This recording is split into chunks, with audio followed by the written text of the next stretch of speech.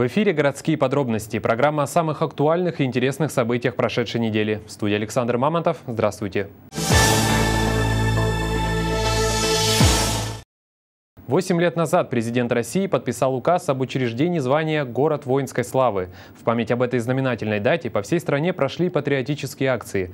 В Архангельске небо над Северной Двиной в одночасье украсили шары цветов георгиевской ленты. Волонтерами акции стали юные жители города воинской славы, ученики школ, студенты колледжей и вузов.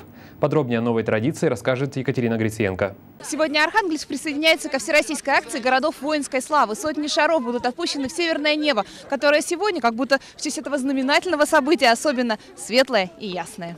Морозное и по-настоящему зимнее утро. Дата 1 декабря организаторами акции была выбрана не случайно. Именно в этот день, в 2006 году, правительством страны было утверждено положение о присвоении почетного звания «Город воинской славы». А три года спустя этого статуса удостоился Архангельск за мужество, стойкость и массовый героизм, проявленные защитниками города в борьбе за свободу и независимость Отечества.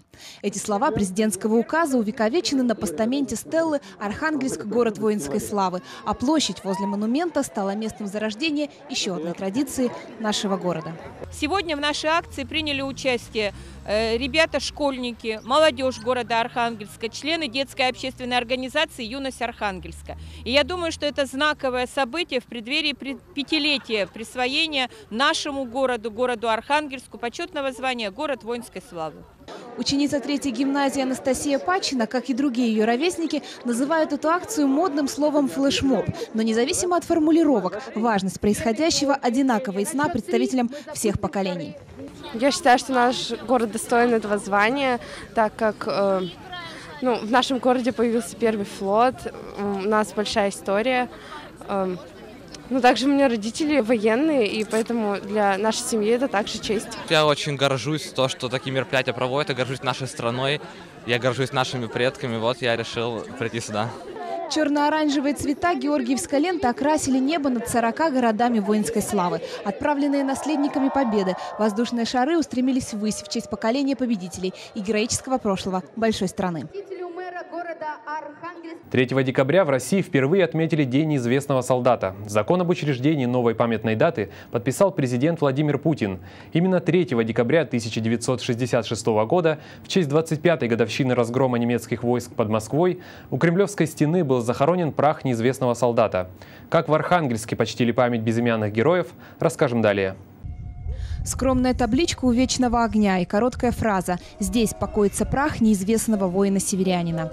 Этой символической могиле безымянного героя может поклониться каждый, кто хранит память о Великой войне. Теперь 3 декабря станет не только важной датой в календаре российской истории, но и особенным днем для города воинской славы Архангельска. Каждый десятый архангелогородец из предвоенного Архангельска не вернулся с полей сражений. Очень много архангелогородцев э, до сих пор числятся в числе без вести пропавших.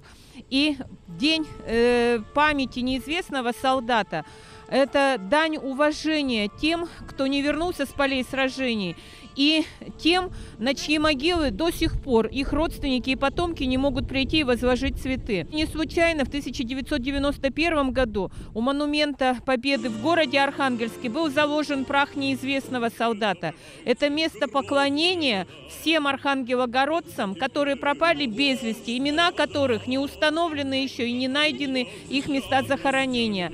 И здесь особую еще огромную роль вносят поисковики, которые каждый день, ежеминутно, ежечасно находят новые имена и возвращают их истории в семьи архангелогородцев и россиян. На площади мира сотни юных архангелогородцев в карауле у вечного огня школьники-кадеты. Такие даты важны прежде всего для них, тех, кто через годы понесет память и правду о бессмертной истории нашей страны для меня очень важно, потому что э, те люди, которые воевали, а, мы, очень, мы им очень благодарны, и это очень для нас почетно. И вот главные участники митинга, те, на чью долю выпало стать свидетелем и участником событий Великой Отечественной войны. Леонида Тарутина война застала десятилетним мальчишкой, а в 11 Леня начал трудиться в тылу. Тушил зажигалки в городе Архангельске. Всю войну я прожил в Архангельске окончил ремесленную школу Архангельского военного округа. Это обязательно надо помнить о, о неизвестных солдатах, потому что много их погибло на Ленинградском фронте, в начале войны и всюду. Четыре с половиной миллиона пропавших без вести. Это у них война забрала все. Жизни, имена и могилы. Вечной осталась лишь память. Память о неизвестных солдатах. День неизвестного солдата приблизил нас к другой важной дате – Дню присвоения Архангельску почетного звания «Город воинской славы». Это случилось 5 декабря 2009 года. Наш город был отмечен за мужество, стойкость и массовый героизм, проявленный архангелогородцами в борьбе за свободу и независимость Отечества. О важности этого события мы говорили с мэром Архангельска Виктором Павленко. 5 декабря 2009 года, конечно, события, которые еще, наверное, э, оценят и жители нашего города, и историки, и так далее, э, потому что это действительно город Архангельск, вот таких городов 40 мы получили, э, и все, и это звание больше не присваивается. Мы получили это звание 22-ми. Город получил награду за действительно выдающееся свое значение. Это роль города Архангельска в Великой Отечественной войне, это ленд-лиз, это северные конвои, это вот 70% Э, снабжения Карельского фронта и других фронтов шло только через город Архангельск. Других возможностей не было. Везде все блокировано. Балтика блокирована, Черное море блокировано и далеко это все это. Вот она роль. И здесь люди э, сами умирали от голода и э, ковали победу. Понимаете? Но бесценно. Ну как, как не присвоить за это? Я считаю, что мы, кто, все, кто занимались, сделали огромнейшую работу. И вот ту заслугу, наших ветеранов, тружеников тыла. Вот мы все-таки э, добились того, что городу Архангельску присвоен город воинской славой. В память об этом событии на символичном для всех горожан мысе Пурнаволок 31 августа 2011 года была установлена стелла, 12-метровый гранитный монумент с четырьмя барельефами. Вершину памятника украшает позолоченный герб Российской Федерации. Я считал своим долгом, чтобы поставить стелу, да, мы затратили определенный, но вот этот зримый символ, зримый символ города воинской славы, он уже воспитывает. И э, мне кажется, э, Э, вот это и всколыхнуло и ту же военно-патриотическую работу. Вы посмотрите, сколько у нас сегодня конкурсов различных проходит, посвященных городу воинской славы. Сколько э, различных э, мероприятий у Стеллы. Кстати, Стелла наша, она особая. Я обратился к, к проектировщикам, к авторам этой Стеллы, для того, чтобы поскольку все-таки город наш морской, первый порт, это по сути город морской славы, чтобы на стеле была корма и нос корабля. Таких 40, э, среди 40 стел э, городов воинской славы нет. И мы этим тоже гордимся. В день пятой годовщины присвоения Архангельску почетного звания «Город воинской славы» стартовал городской форум «Молодежь в действии». Торжественное открытие состоялось у Стеллы на мысе Пурнаволок. Помнит, гордится и верит. Участник молодежного форума Владислав Назаренко сегодня в составе почетного караула. Достойно открыть форум и стать сопричастным юбилейным событием. Большая ответственность и большая гордость. Я считаю себя патриотом, я живу в городе воинской славы, и для меня сегодня находиться здесь в составе знаменосной группы в почетном карауле высокая честь. Форуму предшествовала серьезная подготовка, но, как признаются участники, эту торжественную линейку ждали больше всего. Гордость за город, знаешь, то, что у нас он развивается в последние года, во-первых, в сторону молодежи. Это очень здорово. От имени мэра Архангельска Виктора Павленко участников форума приветствовал его заместитель Ирина Орлова. Хочется пожелать вам новых идей, новых свершений, новых открытий. И как сказал, просил передать вам Виктор Николаевич Павленко, мэр нашего города, мы верим в вас, ребята. Мы уверены в том, что будущее нашего города в надежных руках. Одна из задач, которую выполняет городская власть – работа с молодежью и сохранение патриотических традиций. Так родились конкурс школьных сочинений «Орден в твоем доме», акция «Знамя Победы», межрегиональный фестиваль «Помним, гордимся, верим». Продолжает курс патриотического воспитания и стартовавший форум «Молодежь в действии». Продолжился форум социально активной молодежи в культурном центре «Цигламень». О том, каким молодежь действий будет в этом году, расскажет Артемий Заварзин. Кажется, их энергии хватит, чтобы запустить целую электростанцию. В культурном центре «Цигламень» будет жарко от новых идей и горячих споров на темы молодежного самоуправления. Восьмой по счету форум собрал 100 участников. Цель неизменна – помочь молодым архангелогородцам проявить себя в социально значимых проектах. В каждой команде были разработаны какие-то идеи по трем блокам. Это интеллектуальный блок, образовательный блок и спортивный блок, спортивно-оздоровительный блок. Ну и в соответствии с этим была выстроена программа. То есть это как курс молодого бойца, КВН, это некие лектории по молодежному самоуправлению. Большое внимание будем уделять именно аналитической части форума, то есть э, рассматривать все, что произошло, сами ребята будут делать какие-то выводы. Кстати, для Юрия этот форум восьмой по счету. Путь от участника до организатора был тернист, но зато есть что рассказать и чему научить нынешних форумчан, особенно новичков. На форуме, да, я первый раз. Ну, жду общения, как оно тут есть, довольно-таки активное. Ну, веселье, да, отдых. Ну и, конечно же, дела общие. Дел на три дня немало. Сегодня у ребят интеллектуальное квест-ориентирование и несколько дискуссионных площадок. А завтра тренинги и мастер-классы. Форум завершит свою работу в воскресенье 7 декабря, но это отнюдь не финальная точка. Ребята ожидают своеобразное посвящение в члены молодежного актива Архангельска, а разработанные идеи и проекты лягут в основу следующего форума, который состоится весной 2015 года. Пятилетию со дня присвоения Архангельску звания города воинской славы была посвящена и общегородская линейка. О важной странице в календаре истории поморской столицы далее в нашем эфире. Треть населения нашего города в годы войны отправилась на фронт. Оставшиеся в тылу подвергались регулярным бомбардировкам. По количеству умерших от голода Архангельск занимает второе место после блокадного Ленинграда. За годы войны через Архангельский порт прошло 4 миллиона тонн грузов. Но, по словам очевидцев, за все это время не было украдено ни одной банки консервов. А мясо и жир тюленей, добытых в Белом и Баренцевом морях, через замерзшее Ладожское озеро голодающий Архангельск поставлял в Ленинград. Знать великую историю своей малой родины обязан каждый живущий ныне. А потому сегодня у Стеллы Архангельск – город воинской славы, воздвигнутый в нашем городе спустя два года со дня присвоения ему почетного звания, собрались представители разных поколений архангелогородцев. Для меня это в первую очередь память. Я, когда стою здесь, я вспоминаю о том, какой большой подвиг совершили мои предки и предки моих друзей, моих знакомых, моих родных. И вообще, какой большой подвиг совершил героический российский народ годы той страшной Великой войны. Конечно, это большой был подарок прежде всего для ветеранов, для тружеников тыла, для детей, опаленных войной. Но именно молодежь, именно педагоги первыми вышли с инициативой проведения акции «Я живу в городе воинской славы». Это говорило о том, что каждый школьник пять лет назад с гордостью говорил, что он живет не в простом городе, а в городе, где сохраняются традиции, в городе, где большое внимание уделялось и еще больше уделяется именно патриотическому воспитанию. Присвоение Архангельску звания города воинской славы стало особенным событием для мэра столицы Поморья. 5 декабря 2009 года грамоту о почетном статусе города из рук президента Российской Федерации принимал Виктор Павленко. За мужество, стойкость и массовый героизм, проявленные в борьбе за свободу и независимость Отечества. Тогда Архангельск стал одним из 40 городов, получивших высокое звание. Присутствовал на торжественной церемонии в Кремле и Серафим Степанович Несмелов. В годы войны он служил разведчиком в пехоте и авиации, прошел Смоленск, Белоруссию, Прибалтику и Дальний Восток. Это нашим поколением поставить такой памятник, то мы получили грамоту от президента, что город Архангельск является городом воинской славы. Это честь и слава, это символ победы нашей, нашего поколения.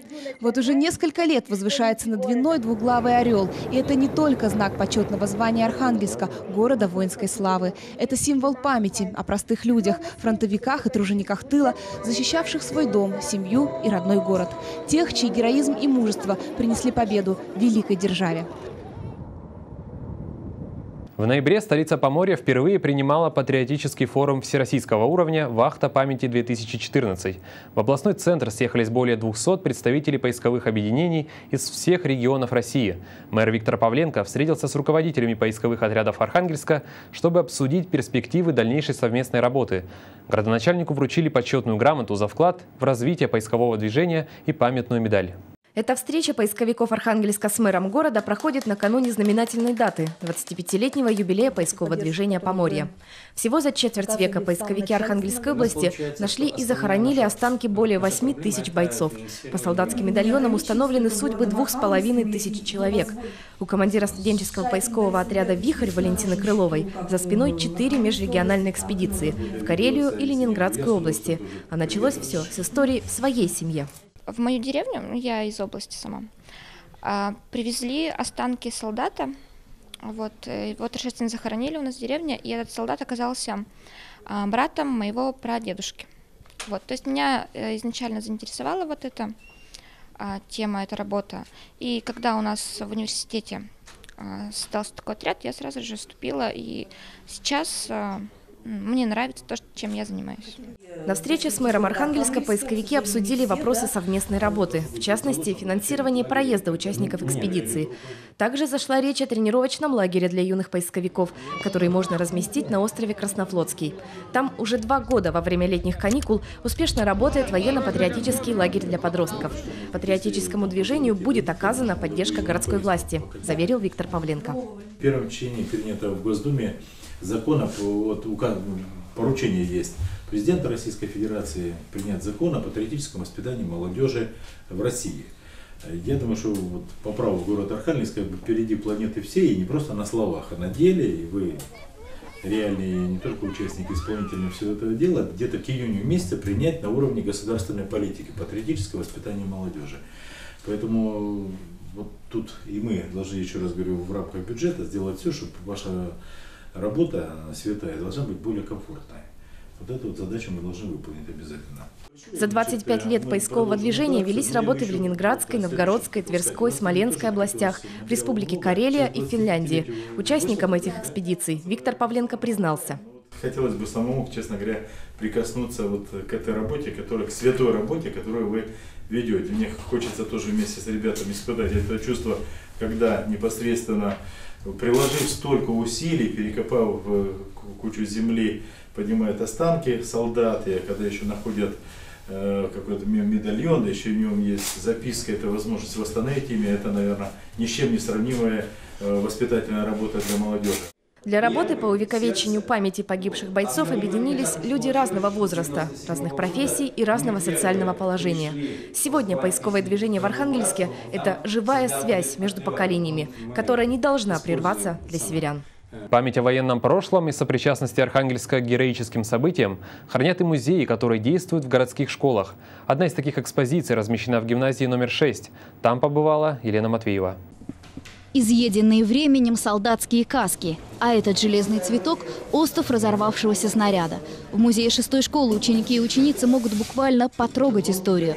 Экскурсии в прошлое проводят сами школьники. Так младшие узнают от старших. Главная гордость шестой – ее выпускники, многие из которых воевали на фронтах Великой Отечественной. Это очень интересно, потому что э, ну, прежде всего, выпускники, они очень молодые, и интересно узнать детали о их жизни – вот что их толкнуло, что их толкнуло на подвиг. Война наша затронула каждую семью, и у меня воевал прадедушка. И особенно это важно для людей, которые пережили войну. Сотни фотографий, десятки историй о настоящем мужестве. Например, выпускник шестой, машинист легендарного парохода Георгий Седов, Николай Шарыпов, в 24 года получил звание Герой Советского Союза. Ныряя в ледяную воду, он закрыл брешь в корпусе судна. От Одера до Волги был смертным каждый шаг, но школьный почерк Толькин узнал тогда Рейхстаг. Эти строки из гимна шестой школы об одном из ее выпускников 1943 года. 20-летний старший сержант Толя Коротков встретил победу в Берлине. Он был одним из тех, кто расписался на стене Рейхстага 2 мая 45-го. Каждый рассказ, каждый предмет вызывают неподдельный интерес у посетителей музея. Такие уроки истории запоминаются надолго. Дети, которые учатся сейчас в нашей гимназии, они могут узнать историю Великой Отечественной войны не просто из книг, а из истории нашей школы. Бывают, ученики приносят сюда фотографии своих прадедов, выпускников шестой. Так они становятся частью школьного музея, частью истории родного города, города воинской славы. Из музея 6 гимназии перенесемся в комнату боевой славы, которая находится в 20-й Архангельской школе. Вот уже пять лет она работает стараниями как преподавателей, так и учеников. Об этом рассказ Марии Воробьевой. Этот медальон времен Советско-финской войны принадлежал одному из бойцов 128-й стрелковой дивизии. Он был найден в 2008 году в Соярском районе Республики Карелия. Именно с этого экспоната началась история комнаты боевой славы 20-й школы Архангельска. Теперь здесь оформлено более 40 тематических стендов и представлено около 30 экспонатов, привезенных с военно-поисковых экспедиций. Я тоже ездила в этом году. У нас была группа в 12 человек. Мы ездили в Суоярский район Республики Карелия, и там подняли 25 солдат. Это очень важно для будущего поколения, чтобы это увидеть и передать следующим учащимся, чтобы они этим заинтересовались и после меня тоже занимались. Сейчас в комнате боевой славы кипит работа. Учащиеся готовят очередной проект. Сохранять память о героях войны помогает мэрия Архангельска. Это и военно-исторические игры, это и э, акция «Знамя Победы», еще ряд мероприятий, связанных с э, юбилейными и памятными датами. Здесь э, через Управление культуры и молодежной политики мэрии города Архангельска нам а, оказывается существенная поддержка. Создание комнат боевой славы в школах – это только малая часть городской программы по патриотическому воспитанию молодежи. Эти фотографии и эти экспонаты нужны не тем, кто погиб, а тем, кто живет сейчас. Самое главное, что есть у страны, у государства, у нации – это связь между поколениями. И комната боевой славы северян помогала, помогала, помогает, и, я надеюсь, будет помогать поддерживать связь между будущими поколениями поколениями прошлого. Память о подвигах северян в годы войны хранит и комната воинской славы в школе номер 36. Оттуда репортаж Инги Швецовой. Биография этого музея началась в 2007 году. Преподаватели и ученики школы номер 36 решили узнать как можно больше о жизни героя Советского Союза Павла Усова, именем которого названа улица в микрорайоне, где они живут. Так было положено начало музейной экспозиции. Каждый из этих предметов – уникальное свидетельство великого подвига нашего земляка лейтенанта Павла Усова. В декабре 1939-го его взводу удалось прорвать укрепленный район линии Маннергейма, переправить десант пехоты и навести понтонную переправу для танков. Погиб он в марте 42-го прямо на поле боя во время ожесточенного сражения за освобождение города Погорелое городище под Смоленском. На месте боя трижды бывали учащиеся 36-й школы. В таких вот местах находятся, да, и вот сейчас это такая прекрасная природа, да, замечательная церковь там стоит, да, но вот когда-то здесь шли бои, они, конечно, очень прочувствуют это все, да, и, ну, это и, и история в то же самое время, и возникает, ну не знаю, тут, ну может быть даже горечь какая-то, да, потому что война это всегда трагедия. С места гибели Павла Усова ребятам удалось привезти мину, горстку земли с гильзами и даже остаток снаряда. Эти и другие экспонаты занимают почетное место в школьной экспозиции. В исследовательской экспедиции побывала девятиклассница Екатерина Лохновская. Во время Великой Отечественной войны люди пережили очень многое а, страшное. Удалось очень много всего увидеть, и сейчас мы не должны забывать об этом, мы должны хранить память, помнить об этом и рассказывать будущему поколению. Кабинет боевой славы школы номер 36 – начало большого пути по созданию настоящего школьного музея. Центральное место в нем займут материалы, связанные с Великой Отечественной войной.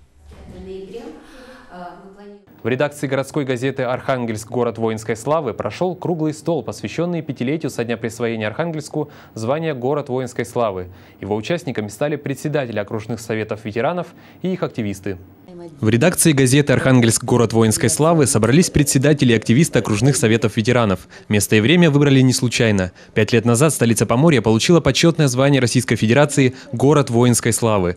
Собрались, чтобы наметить планы на будущее и подвести итоги. В этом году в Совете ветеранов Соломбальского округа завершилась большая работа по сбору информации об условиях жизни тех, кого коснулась война. Не забыли ни о ком. Анкетирование э, тружеников тыла, участников войны, узников, э, репрессированных, в общем, все категории по просьбе отдела соцзащиты. И поэтому э, Светлана Альбертовна попросила, что если мы можем, то сделать такую акцию. Мы, конечно, сделали.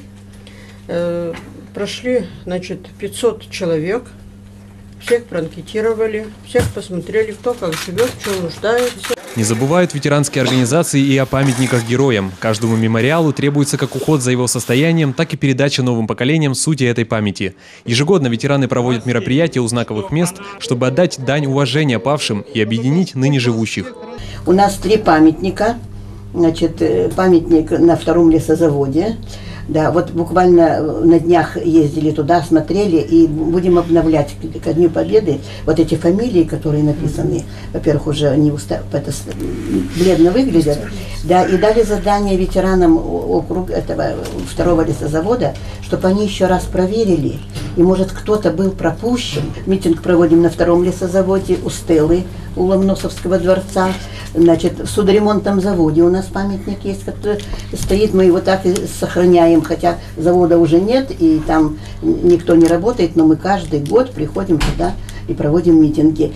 В своей работе ветеранские советы отдают приоритет патриотическому воспитанию молодежи. Юное поколение северян получает уроки мужества и любви к родине, беря пример с тех, кто пронес на своих плечах все тяготы войны.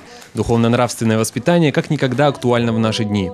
Основной нашей, конечно, тоже целью и задачей работы с ветеранами – это патриотическое воспитание и работа с молодежью. Правильно сказала Валентина Николаевна, что на данный момент, на данную ситуацию в стране это является первостепенным. Это Патриотическую работу мы начали вести уже 18 лет назад. Проводились конкурсы, викторины, конкурсы песен на тему Великой Отечественной войны среди школьников. Ну и, естественно, вот сейчас э, мы тут э, акцию, когда проводили Знамя Победы по Октябрьскому округу, мы тоже э, участвовали в вручении этого знамени Победы, проводили уроки мужества в школах. Во всех мероприятиях, куда нас приглашают – Ветераны рассказывают о своем жизненном пути, о том, что они пережили во время Великой Отечественной войны, что помогло победить. Дети слушают очень внимательно, очень. Они буквально впитывают в себя всю эту информацию.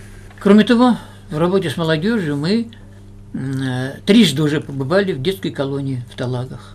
Несколько спортивных игр провели там. Им тоже очень понравилось. Настольный теннис – шашки, шахматы.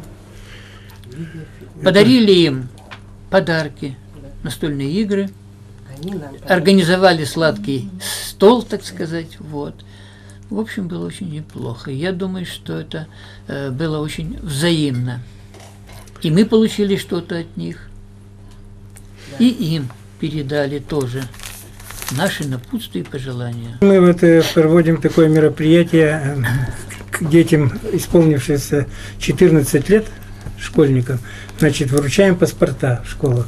Это у нас называется «Я гражданин России». Вот это у нас практикуется, каждый год мы подбираем, так человек по 20 проводим награждение. Тоже при, привлекаем к этому депутатов городской думы наших. Представители ветеранских советов отметили вовлеченность и неподдельный интерес школьников к делу восславления подвигов Великой Отечественной войны. Сошлись в едином мнении. Упреки в адрес молодежи часто бывают необоснованны. Дети читали стихи, и читали стихи, которые сами написали. Вот. И, значит, эм, э, молодежный совет участвовал, тоже выступали, э, что они являются продолжателями всех наших начинаний. Затем дети э, организовали почетный караул э, в форме, и дальше дети возлагали гирлянду вечной славы. В общем, было здорово. И, конечно, потом дети вместе с ветеранами э, запускали белые шары. На будущий год, который для Великой Победы будет юбилейным, в округах уже разрабатываются планы культурно-массовых мероприятий. Мы решили в этих рамках 70-летия Победы провести фестиваль «Песня спутница военных лет» и в рамках этого музыкального клуба. Вот у нас уже сейчас, на сегодняшний день, есть 10 заявок – из округов и первичных организаций города. Вот, я думаю, что, может быть, заявок будет еще больше. Шел разговор и о муниципальной газете «Архангельск. Город воинской славы». На ее страницах публикуются материалы патриотического содержания, статьи и зарисовки о городской жизни и ветеранах, поздравления ветеранов с юбилейными датами. Каждый ждет, что его имя будет упомянуто в газете. Иногда даже бывает так. Вот, допустим, газета выходит по средам, а день рождения у человека было, будет допустим, в четверг или в пятницу. И мне значит, приходится поздравлять именно в эту среду, накануне дня рождения. Вот. А иногда бывало так, что, допустим, день рождения у них накануне был, а я поздравляю в среду. То есть иногда даже спрашивают, звонят и спрашивают, а почему меня не поздравили в газете с, с днем рождения? Я хочу от себя лично, от вас, от всех, от наших ветеранов, сердечно поблагодарить тех, кто работает с газетой «Архангельск. Город воинской славы». Есть настольные книги, есть настольные газеты. Вот мне кажется, что для нас газета «Архангельск. Город воинской славы» – это настольная газета. Заслуги северян в одержании Великой Победы неоспоримы. Недаром Архангельск вот уже пять лет носит почетное звание города воинской славы. Но работа на этом не заканчивается. Помощь ветеранам, воспитание молодежи, устройство памятников – дел много. Главное – не терять связь между поколениями. Вот когда мы шли первый раз со знаменем Победы, когда было 65 лет, мы услышали слова одного ветерана. Он сказал так «И внуки восславят нашу победу». Так вот, нам, наверное, сейчас прошло пять лет, нам надо ответ дать нашим ветеранам. Внуки восславили вашу победу. Как? Через что? Что мы сделали? Что мы заработали? И в конце марта мы все подведем большой итог с такими словами. И внуки восславили вашу победу. О взаимодействии с городским советом ветеранов и о патриотическом воспитании молодого поколения мы говорили с заместителем мэра Архангельска по социальным вопросам Ириной Орловой. Интервью с ней продолжит эфир. Ирина Васильевна, здравствуйте. Добрый день. В городе проходит большая патриотическая работа. Расскажите об основных ее мероприятиях и главных подходах. Ну, я бы сказала, что патриотическая работа – это большая системная работа, можно даже сказать, что это каждодневный труд. Причем труд э, огромной большой команды, потому что э, в нашем городе, в Архангельске, в городе воинской славы, патриотическая работа – это не определенная работа, например, только Департамента образования или только Управления культуры и молодежной политики. Это межведомственное взаимодействие и большая-большая работа. Э, то есть большая-большая система. И надо сказать, что патриотическая работа начинается, наверное, с семьи, с детского сада. Потом она переходит в школу, э, в учреждение культуры, в учреждение спорта. И дальше вновь возвращается в семью уже через молодых родителей, которые опять вовлечены в процесс. Но и понятно, что это еще и работа со старшим поколением, работа с родителями ребят старшеклассников, студентов. То есть в патриотическую работу, можно сказать, в Архангельске, в городе воинской славы, вовлечен весь город. Э, это огромное количество мероприятий, это огромное количество различных акций.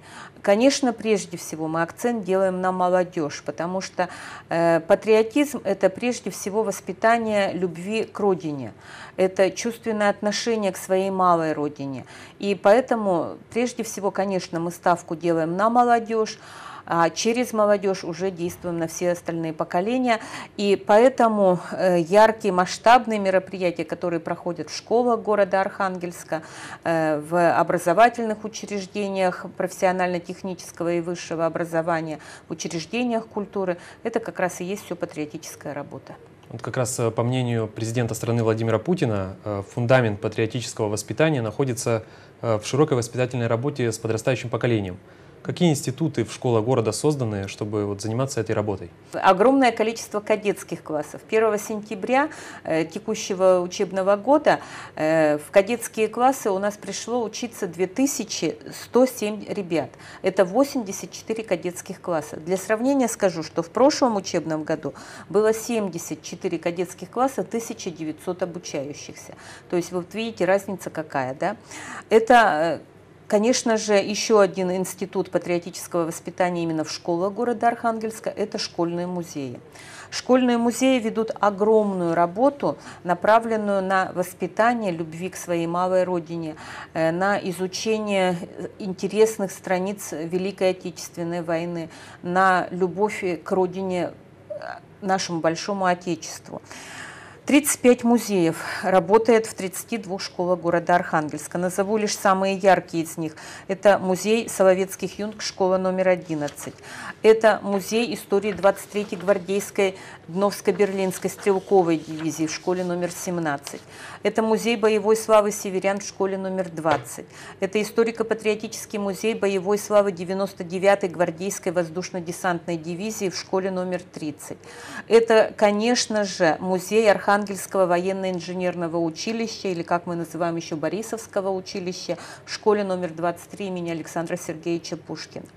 Огромную работу по патриотическому воспитанию школьников ведет музей Соломбальского дома детского творчества. Именно в этом учреждении для всех школьников города Архангельска организуются экскурсии по городу Архангельск, город воинской славы, Архангельск прифронтовой. И именно этот музей является методической площадкой для всех 35 школьных музеев нашего города. Конечно, огромную роль в патриотическом воспитании э, оказывают э, это наши учреждения дополнительного образования детей, которые работают в сотрудничестве со школами.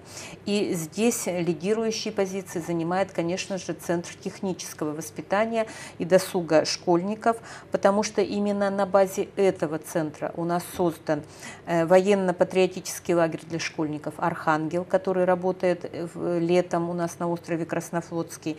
Это клуб «Собеседник». Это учебный э, цикл занятий, курс э, воинской славы России и огромное количество мероприятий. Но еще я бы назвала, наверное, огромный э, такой вот большой блок в воспитании патриотов э, города, области, страны, конечно же, берет на себя детская организация «Юность Архангельска», потому что через эту организацию проходят сотни мальчишек и девчонок нашего города, и в этой организации ребята действительно познают основы и азы любви к своей малой родине. Как э, складывается ваша совместная работа с городским советом ветеранов? Совет ветеранов э, – наш самый главный помощник и организатор огромного количества мероприятий патриотического направления. Между мэрией города Архангельска и городским советом ветеранов подписано соглашение по патриотическому воспитанию молодежи. Департамент образования мэрии города Архангельска и городской совет ветеранов э, уже на протяжении двух лет ежегодно утверждают план совместной работы по патриотическому воспитанию. Надо сказать, что э, этот план четырех трехсторонний, не только Департамент образования и городской совет ветеранов, но еще и две общественных организации ветеранов. Это ветеранская организация воинов-интернационалистов «Долг» и организация «Боевое братство» участвуют в разработке этого плана. Благодаря Совету ветеранов в городе проходит крупномасштабная акция «Знамя Победы». Эта акция тоже уже проводится не первый год, она посвящена победе в Великой Отечественной войне. И вот именно акция текущего учебного года, посвященная 70-летию Победы, это очень знаковое событие, потому что уже более 40 школ посетили наши ветераны со знаменем Победы. Э, это целый ритуал, это огромная подготовительная работа.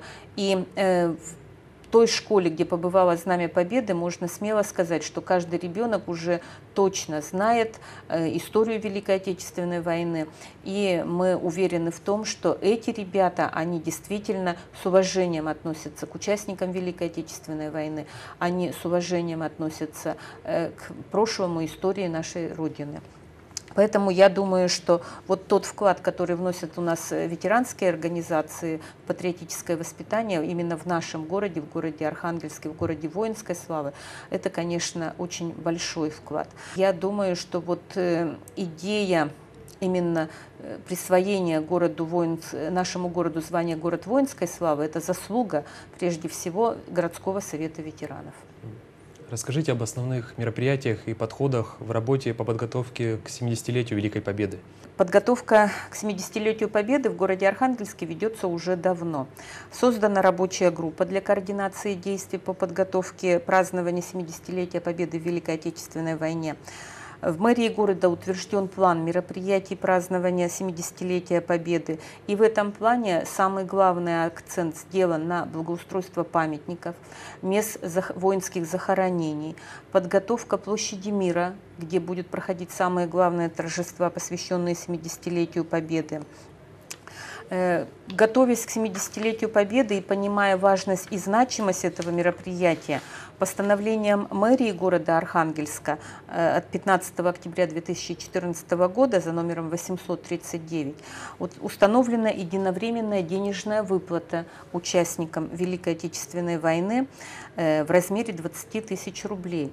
Хочется сказать, что эту единовременную выплату наряду с участниками и инвалидами Великой Отечественной войны получат э, бывшие несовершеннолетние узники концлагерей, военнослужащие, проходившие военную службу в воинских частях, учреждениях, военно-учебных заведениях, которые не входили в состав действующей армии, в период с 22 июня 1941 года по 3 сентября 1945 года. Это тоже очень важно для наших ветеранов.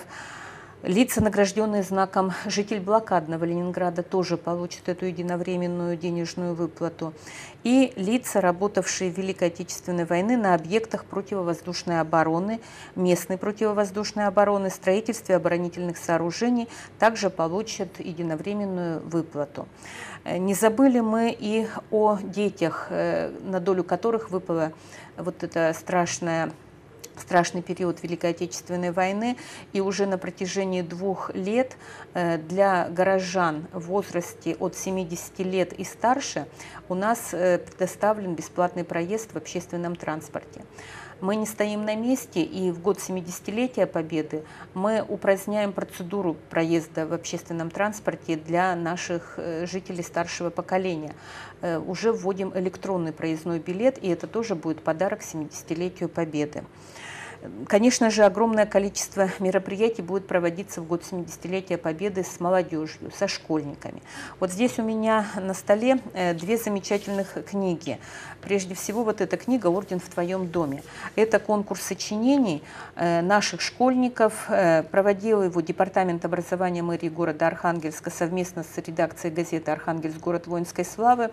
И эти сочинения ребята писали о своих дедах, бабушках, прадедах, которые участвовали в Великой Отечественной войне и награждены какими-то наградами за свои подвиги. 5 декабря даем старт еще одной акции – это акция э, орден, уже не орден в твоем доме, а именно обелиски.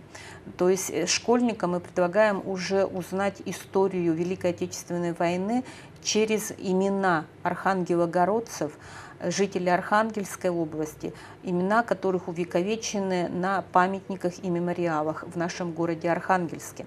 И ребятам предлагаем узнать историю подвига того или иного бойца, судьбу этого солдата и написать свое сочинение, свой, свой взгляд на, это, на этот подвиг. И вот эти все работы, ребят, они будут напечатаны также в газете «Архангельск. Город воинской славы» и надеемся, что выйдут вот точно в таком же издании. То есть работа идет очень интересная. Понятно, что будут и классные часы в школах, и встречи с ветеранами, но и самое главное, знаковое событие, это, конечно, праздничное мероприятие 9 мая 2015 года, в день 70-летия Победы. Ирина Васильевна, большое спасибо за беседу. В Архангельске проходит декада людей с ограниченными возможностями здоровья. В ее рамках в Архангельском городском культурном центре состоялось торжественное мероприятие, побывала на котором Инга Швецова. В Архангельске проживают больше 30 тысяч людей с ограниченными возможностями. Почти тысяча из них – дети. К особым людям – особое отношение. На сегодняшний день практически все социальные учреждения Архангельска оборудованы пандусами для маломобильной группы населения. С 2010 года на городские маршруты вышли 10 автобусов марки «Лиас», специально обустроенные для инвалидов-колясочников. Только за последние два года появился 41 звуковой пешеходный переход. Общий объем средств за один только 13-14 год у нас составил порядка 7,5 миллионов рублей. Причем хочу отметить, что 5 миллионов 836 тысяч 800 рублей – это средства городского бюджета, и миллион шестьсот тридцать мы получили из областного бюджета. Следующий год мы также предусмотрели средства на программу «Доступная среда» и будем в этом направлении работать. В этот день активистов, которые работают в организации для людей с ограниченными возможностями, мэрия города отметила благодарностями и подарками. Почетную грамоту получил и Владимир Старков. Почти 15 лет он стоит во главе Архангельской межрайонной организации Всероссийского общества инвалидов. Тесно сотрудничает с мэрией и на этом мероприятии у нас всегда подводятся итоги работы. Ну, мы проводим ежегодные наши мероприятия крупные. Это соревнования зимние и летние при поддержке мэрии. 100 э, человек участников. Для людей с ограниченными возможностями всегда открыт мир творчества. Например, этот музыкальный коллектив сложился 4 года назад. Его участники – инвалиды по зрению. С помощью музыки я смог посетить некоторые интересные места музыка вообще, она сближает. Можно найти себе очень хороших друзей. Если, например, э, как у нас, допустим, было, мы все нашли очень хорошего друга, просто мы ездили на международный фестиваль, там мы очень даже неплохо провели время. Все эти люди, несмотря на то, что имеют физические ограничения, сохранили главное – желание жить. Они работают, занимаются спортом, увлекаются творчеством и никогда не теряют надежду на лучшее. О том, как городские власти взаимодействуют с общественными организациями инвалидов, нам рассказала начальник отдела демографии и семейной политики мэрии Архангельска Ольга Рыкалова. Ольга Александровна, здравствуйте. Здравствуйте. Расскажите, как складываются ваши взаимоотношения с общественными организациями инвалидов, какие совместные мероприятия проводятся? Ну, наверное, начнем с того, что по статистике на территории Российской Федерации проживает около 10% граждан, имеющих группу инвалидность. Архангельск не является исключением, и у нас в городе проживает около 30 тысяч граждан, у которых установлена группа инвалидности. Около тысячи из них – это дети. И, конечно, очень важно строить мэрии города Архангельска свою работу так, чтобы по возможности улучшить качество жизни людей этой категории. Э, на территории города существует и действует уже длительное время несколько общественных организаций, очень активных общественных организаций. Это Всероссийская организация Всероссийского общества инвалидов, это Всероссийское общество глухих, Всероссийское общество слепых, Общественная организация инвалидов «Надежда», Общественная организация инвалидов «Благодея» и еще многие организации активно работают. И задача мэрии города Архангельска – объединить совместные усилия и вместе с общественными организациями проводить работу. Э, с 1999 года в городе создан Координационный совет по делам инвалидов, который решает все актуальные для инвалидов вопросы. Туда входят представители и администрации города, и администрации, и правительства области, и представители общественных организаций. И следует сказать, что представители общественных организаций инвалидов, они очень активны, и благодаря этому наши советы носят очень жаркий характер, вопросы на них рассматриваются самые разнообразные. И что очень отрадно отметить, что все решения, как правило, находят отражение в работе мэрии города. Мэрия конкретно решает проблемы инвалидов на транспорте, в общественных зданиях, в жилых домах, вообще как власти города могут участвовать в формировании доступной среды? Ну, здесь, наверное, следует отметить, что доступная среда – это не только здания, не только сооружения, но это и прежде всего общество, которое готово принять граждан с ограниченными возможностями здоровья. И поэтому здесь деятельность весьма разнопланова. Это, во-первых, и помещения, которые мэрия города предоставляет для общественных организаций, то есть они должны располагаться в удобных Э, зданиях, куда смогут подойти граждане с ограниченными возможностями здоровья. Это и образование, которое немаловажно, чтобы дети-инвалиды у нас получали образование. Как я уже сказала, около тысячи у нас детей-инвалидов, и из них около 400 получают образование. Здесь следует отметить, что наши муниципальные учреждения образования очень активно проводят работу с такими детьми. У нас существуют школы, это, например, школа номер 5, где обучаются дети с нарушением слуха, зрения. Это школа номер 8, где обучаются дети с нарушением опорно-двигательного аппарата. И в них очень активно, вернее, работе с ними помогают не только учителя, но и самое главное, что привлекают они к работе и общественные организации. Во-вторых, это, конечно, создание интерактивного доступа, то есть гражданин с ограниченными возможностями здоровья теперь имеет право свободно обратиться через э, сеть интернет к мэру города, в, любую, в любое подразделение мэрии города Архангельска, получить услуги различные виды, муниципальные, государственные. То есть это теперь достаточно активно используется. Транспортная проблема достаточно сложная, и поэтому мэрия города были закуплены автобусы, именно низкопольные автобусы, в которые могут заехать граждане, у которых имеются нарушения опорно-двигательного аппарата. Движение этих, движение этих автобусов, график движения был согласован э, с представителями общественной организации Всероссийской организации инвалидов. Ну и, конечно, доступная среда – это формирование непосредственно уже инфраструктуры, здания, сооружения. И здесь э, в городе с 1999 -го года действует программа обеспечения беспрепятственного доступа инвалидов к социальным объектам инфраструктуры муниципальной. И как мы видим, сначала это было все сложно, но теперь уже видно, что все у нас учреждения здравоохранения – Учреждения культуры оборудованы и пандусами, и поручнями. И нельзя не отметить, что и новые строящиеся объекты тоже у нас, как правило, оборудуются всеми средствами, которые облегчают доступ инвалидов в здание. Здесь э, хочется еще сказать, что в последнее время мэрия города не только проводит работу по э, установке непосредственно пандусов, но и свободному доступу инвалидов непосредственно в самих учреждениях. В частности, в 2013-2014 году мэрия города сделала очень много для оборудования Архангельского городского культурного центра приспособлениями, облегчающими доступ граждан с ограниченными возможностями здоровья. Это установлены поручни, это установлен специальный туалет, закуплены подъемники, позволяющие гражданину который передвигается с помощью коляски, свободно передвигаться на второй этаж. То есть свободный доступ у нас не только в большой зал, но и в малый зал. Оборудованы таблички, на которых слабовидящие могут с помощью текста Брайля определить, в каком месте именно центра они находятся. Также большое такое инновационное мероприятие – это оборудование городских бань специальными помывочными креслами колясками. То есть гражданин, который передвигается с помощью коляски, может обратиться в любую из муниципальных бань, и там ему будут предоставлены все, все услуги, которые данная баня оказывает. Следует отметить, что при формировании всех э, муниципальных программ, которые, деятельность которых направлена на э, улучшение качества жизни граждан с ограниченными возможностями здоровья, мэрия города активно привлекает общественные организации инвалидов. То есть практически ни одна программа без их предложений у нас не принимается и не рассматривается. Благодаря вот такому четкому взаимодействию удается достичь положительных каких-то моментов в нашей работе.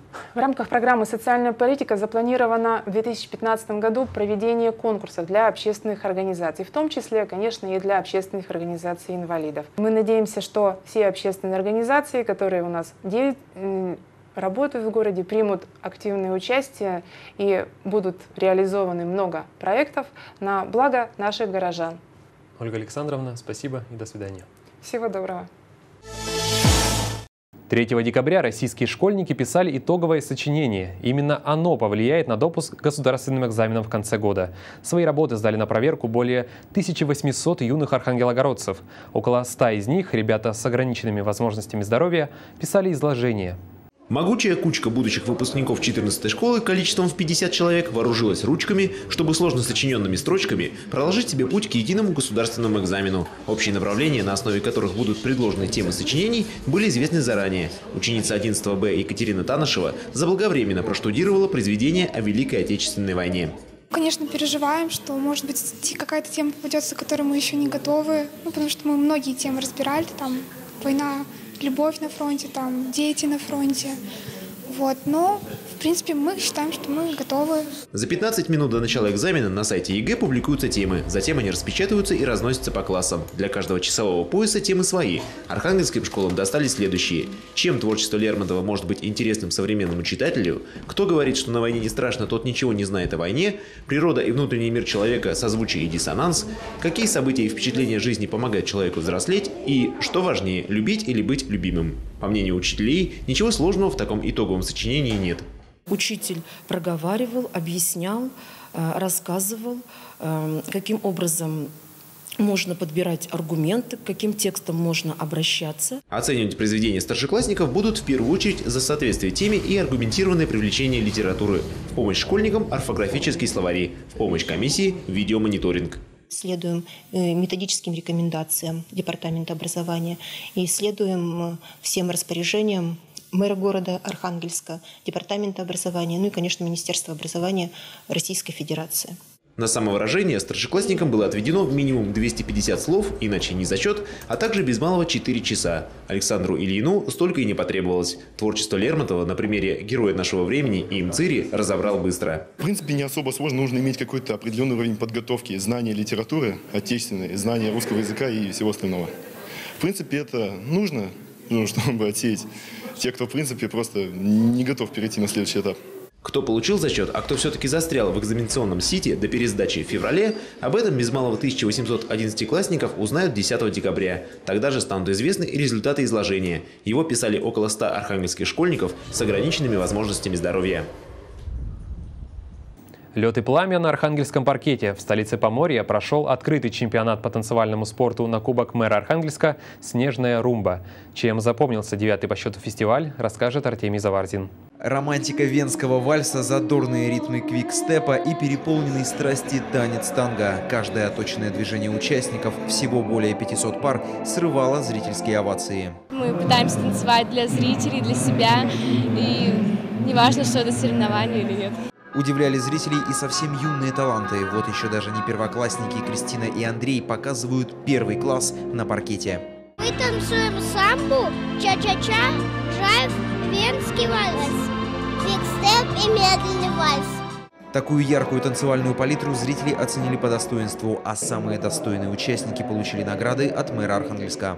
Это сочетание, прежде всего, конечно же, спорта и э, культуры, э, эстетики. И поэтому, конечно, у молодежи есть к этому тяга. Это очень здорово. Надо в дальнейшем думать о том, чтобы, конечно, появился, раз направление есть, появился бы ФОК специализированный, где бы ребята могли специально заниматься этим видом спорта. Я думаю, что мы будем над этим работать. По итогам фестиваля «Снежная румба» Кубок мэра за лучшее исполнение латиноамериканской программы получили танцоры из Москвы. Высокой награды за европейский танец были удостоены мастера из Череповца. Что касается самых юных танцоров, то тут все ступени пьедестала, как и в прошлом году, у архангельских спортсменов. Теплосети функционируют в штатном режиме, отклонений от температурного норматива нет. Об этом доложили специалисты городского хозяйства на еженедельной планерке при главе города. О чем еще шла речь на совещании, расскажет Артемий Заварзин. Мэр Виктор Павленко поставил специалистам задачу незамедлительно реагировать на изменения погодных условий и привлекать необходимую технику, чтобы в том числе достойно провести зимние каникулы. Обязательно охватить отдаленные территории, как Бревенник, Барка, Э, Кегистров, другие отдаленные, да и у нас и 29, и 14, и 21. Просьба, время еще есть, для того, чтобы все-таки людям создать такое нормальное позитивное настроение. Я не говорю уже о службах, тут все понятно, да, дежурство, дежурные группы. В округах города администрации занимаются благоустройством. В Северном округе завершено возведение железобетонной пешеходной дороги на улице Химиков, а в Соломболе по поручению градоначальника продолжается приведение в порядок площадки у культурного центра. У нас там будет и елка, сосредоточение все, всех празднеств в Соломболе будет там. Поэтому надо посмотреть за этот месяц, если нужна какая-то еще помощь, я готов, еще раз говорю, как-то найти средства для того, чтобы там было все у нас здорово и внутри, и снаружи. Обсудили участники совещания и мероприятия, посвященные пятой годовщине присвоения Архангельску почетного звания «Город воинской славы». 5 декабря в 10 часов утра у Стеллы «Город воинской славы» начнет работу форум социально активной молодежи Архангельска, а в 14 часов пройдет торжественная линейка учеников кадетских классов школ города. Участие в юбилейных мероприятиях смогут принять все желающие. 19 участниц, 4 номинации, главный приз «Звание женщины года-2014». Итоги ежегодного городского конкурса в столице Поморья подвели накануне Дня матери. Вот они, 19 архангелогородок, которые отвлеклись от домашних дел, отложили на потом трудовые заботы, чтобы в этот день предстать перед зрителями в роли участниц 13-го городского конкурса «Женщина года». Он проводится мэрией Архангельска в рамках городской целевой программы «Семья и дети Архангельска». Эта программа существует в Архангельске на протяжении уже многих лет.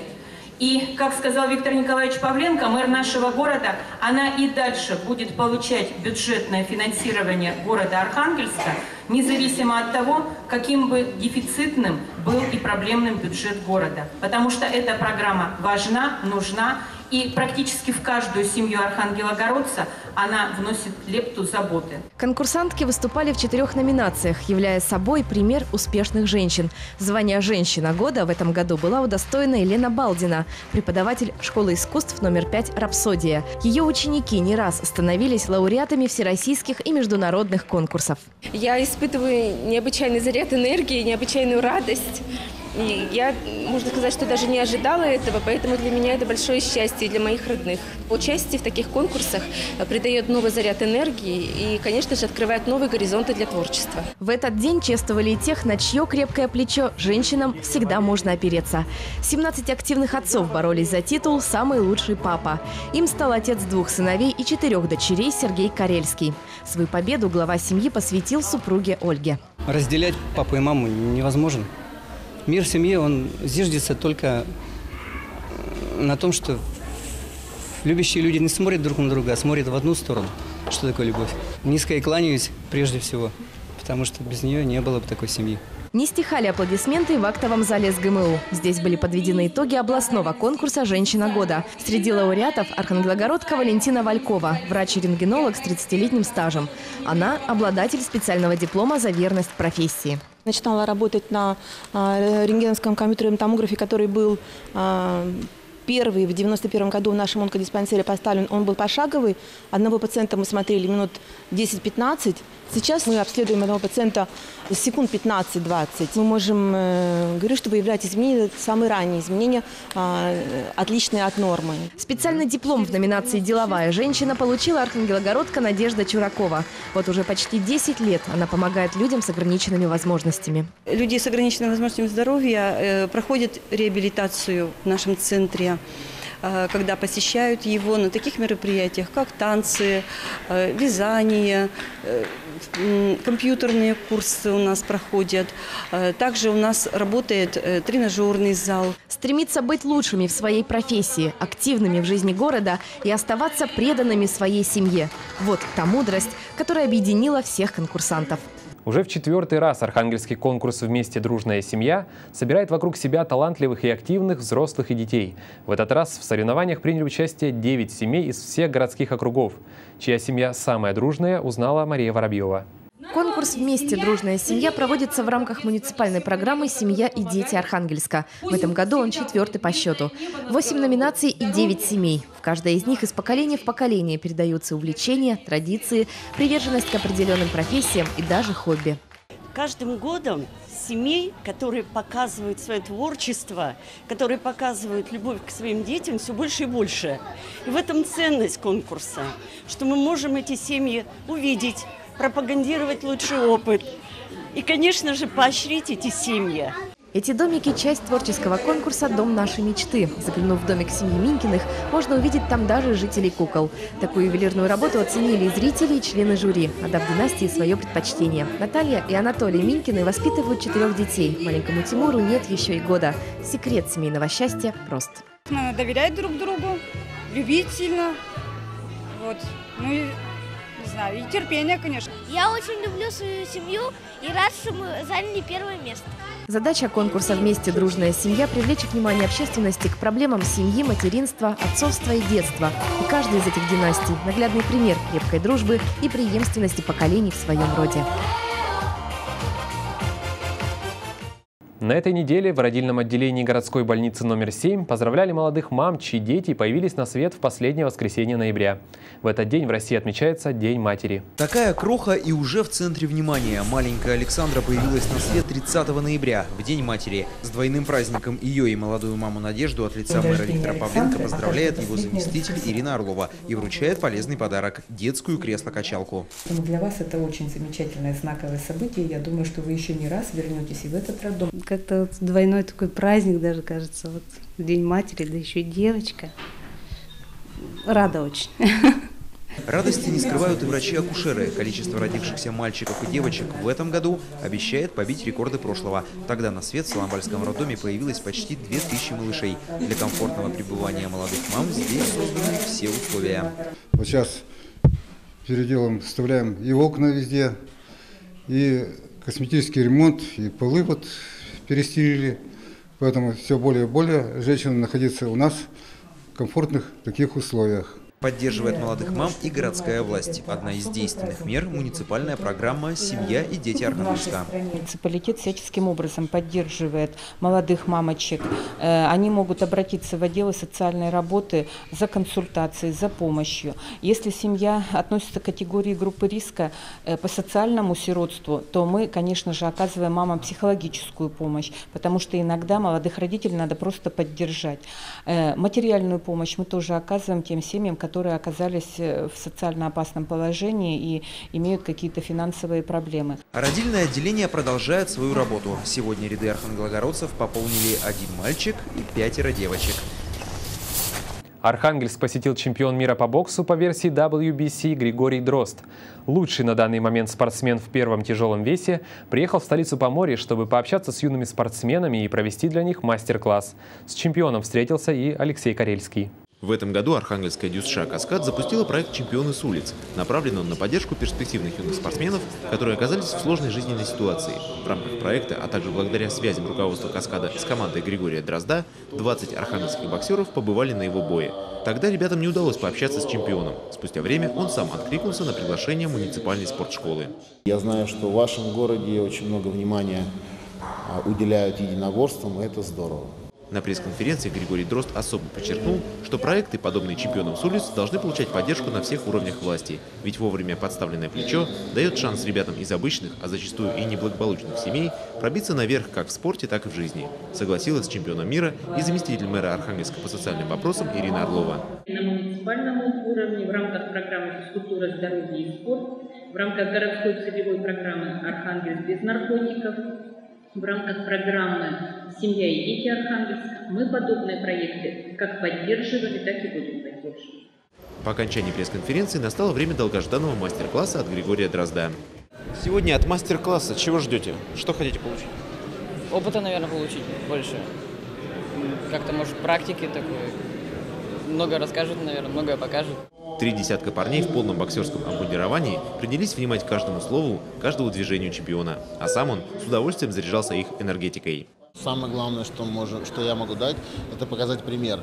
Вот все в твоих руках, вот твои руки, вот твоя голова, вот твое сердце, вот зал – иди, делай, добивайся. Сегодня здесь, в Архангельске, можно творить чудеса, приходя в зал, тренируясь до седьмого пота каждый день, добиваясь победы, воспитываясь, становиться мужчинами, становиться чемпионом мира, олимпийским чемпионом.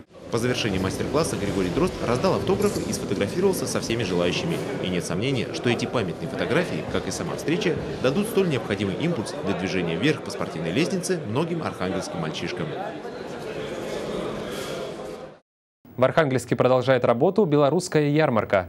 Торговые ряды раскинулись возле Дворца спорта профсоюзов. Гости представили северянам широкий ассортимент товаров более чем 20 предприятий Белоруссии.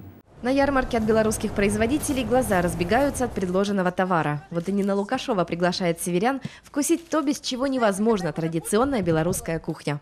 Колбасы, сыры, сало, мясо, э, грудинки, э, э, колбасы сыровяленые, вельми вкусные, так что, коли ласка, приходите к нам, купляйте, цены все доступные. А это сладкое изобилие из города Бобруйска. Северяне знают, халва это не только вкусный, но и полезный продукт. Есть э, кунжутная халва. Э, как знаете, в кунжуте очень много э, кальция.